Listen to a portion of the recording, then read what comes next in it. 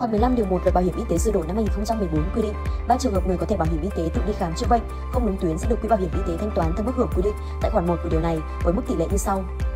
Tại bệnh viện tuyến trung ương là 40% chi phí điều trị nội trú, tại bệnh viện tuyến tỉnh là 60% chi phí điều trị nội trú từ ngày 31 tháng 12 năm 2020, 100% chi phí điều trị nội trú từ ngày 1 tháng 1 năm 2021 trong phạm vi cả nước. Tại bệnh viện tuyến huyện là 70% chi phí khám chữa bệnh từ ngày 31 tháng 12 năm 2015, 100% chi phí khám chữa bệnh từ ngày 1 tháng 1 năm 2016.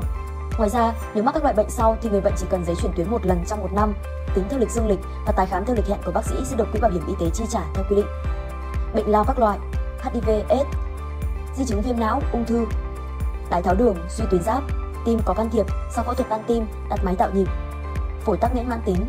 vảy nến, lupus ban đỏ, chạy thận nhân tạo chu kỳ, di chứng do vết thương chiến tranh và một số bệnh nội tiết chuyển hóa.